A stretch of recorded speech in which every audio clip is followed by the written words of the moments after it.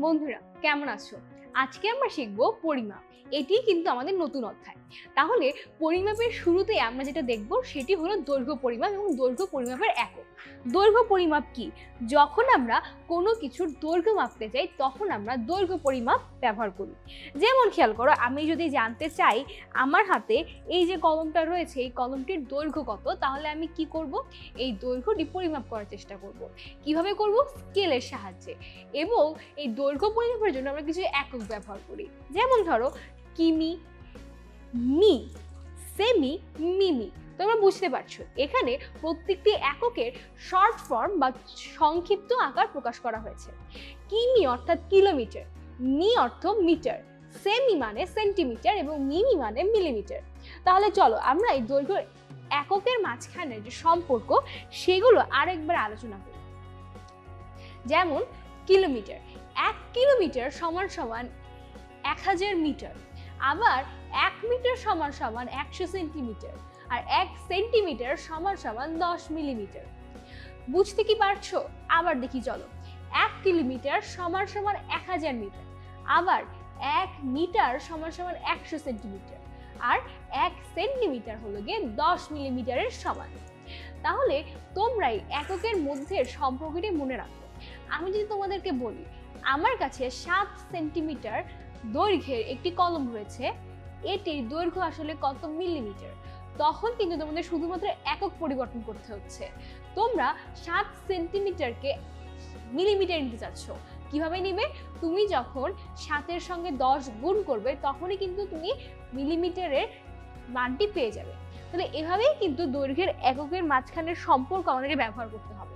তাহলে চলো দেখি আমরা কীভাবে এই দৈর্ঘ্যের পরিমাপটা শুরু করতে পারি?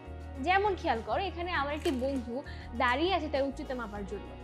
তার নাম হলো মনীন্দ্র ত্রিপুরা।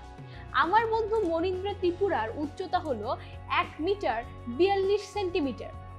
সেন্টিমিটারে তোমাদেরকে প্রকাশ করতে হবে যে আমার বন্ধু মনীন্দ্র ত্রিপুরার উচ্চতা আসলে কত। ব্যাপারটা কিন্তু খুবই সহজ। কীভাবে? খেয়াল করো। এক মিটার সমান সমান একশো সেন্টিমিটার। এটা কিন্তু তোমরা জানতে এককের মধ্যে সম্পর্কে তোমরা জানতে পেরেছ যে মিটার আর সেন্টিমিটারের মধ্যে সম্পর্ক হলো এক মিটার সমান সমান একশো সেন্টিমিটার। তাহলে মরিন্দা ত্রিপুরার যে উচ্চতা, এক মিটার বিয়াল্লিশ সেন্টিমিটার, এখানে এক মিটার প্রকাশ করছে একশো সেন্টিমিটারকে। তাহলে তুমি বলতে পারছ যে এক মিটার বিয়াল্লিশ সেন্টিমিটার সমান সমান একশো বিয়াল্লিশ সেন্টিমিটার, সেটা কীভাবে? এক মিটার সমান সমান একশো সেন্টিমিটার আর বিয়াল্লিশ সেন্টিমিটার। দুটিকে আমরা যোগ করছি। যোগ করে পাচ্ছি একশো বিয়াল্লিশ সেন্টিমিটার। এবার দ্বিতীয় প্রশ্ন। চলো, এবার আমরা পুরো যে উচ্চতা আছে এটিকে মিটারে প্রকাশ করি। এক মিটার ইতিমধ্যেই মিটারে প্রকাশিত রয়েছে। তাহলে আমাদেরকে পরিবর্তন করতে হবে বিয়াল্লিশ সেন্টিমিটারকে। সেটি কি হবে? আমরা সেন্টিমিটার থেকে মিটারে নিব। এখন আমরা জানি যে দশ সেন্টিমিটার সমান সমান শূন্য দশমিক এক মিটার। তাহলে চল্লিশ সেন্টিমিটার হবে শূন্য দশমিক চার মিটার। এটি কীভাবে?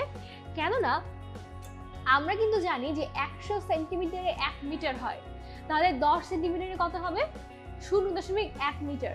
একশো ভাগের দশ ভাগ শূন্য দশমিক এক। আর চল্লিশ সেন্টিমিটারে শূন্য দশমিক চার মিটার।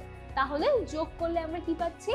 এক সেন্টিমিটার শূন্য দশমিক শূন্য এক মিটার আর দুই সেন্টিমিটারে শূন্য দশমিক শূন্য দুই মিটার। তাহলে আমার এক মিটার বিয়াল্লিশ সেন্টিমিটার হচ্ছে এক দশমিক চার দুই মিটার। আমি জানি তোমাদের মধ্যে অনেকেই এখন পর্যন্ত ঠিক এই অঙ্কটি বুঝতে পারো যদি বুঝতে না পেরে থাকো, তাহলে আমার কথাটি আরও একবার মনোযোগ দিয়ে শোনো। আমরা জানি একশো সেন্টিমিটারে কত হয়? এক মিটার হয়। তাহলে এখন আমাদেরকে বের করতে হবে বিয়াল্লিশ সেন্টিমিটারে কত মিটার হয়? আর বিয়াল্লিশ সেন্টিমিটার মানে কি একশো ভাগের বিয়াল্লিশ ভাগ। বিয়াল্লিশ ভাগ একশো। এটিকে যখন আমি দশমিকে প্রকাশ করি, কি হয়? শূন্য দশমিক চার দুই। তাহলে এখানে আমরা এক দশমিক শূন্য শূন্য আর শূন্য দশমিক চার দুইকে যোগ করছি। যোগ করে পাচ্ছি এক দশমিক চার দুই মিটার। তাহলে বন্ধুরা, খেয়াল করো তোমরা প্রথম পাঠে শিখলে দৈর্ঘ্যের এককগুলোর মধ্যে সম্পর্ক এবং সেই সম্পর্ক ব্যবহার করে তোমরা কীভাবে সমস্যার সমাধান করবে তাও দেখবে। এর পরের পাঠে চলে যাও, দৈর্ঘ্য এবং পরিসীমা সম্পর্কে অন্যান্য তথ্য জানবে। ধন্যবাদ ছোট্ট বন্ধুরা।